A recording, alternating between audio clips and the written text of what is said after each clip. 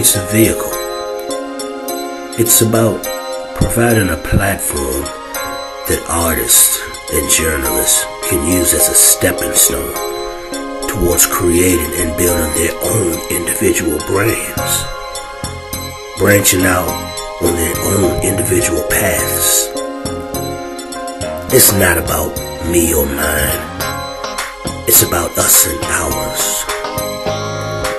And that's what it takes to build a community. And that's the way we've been operating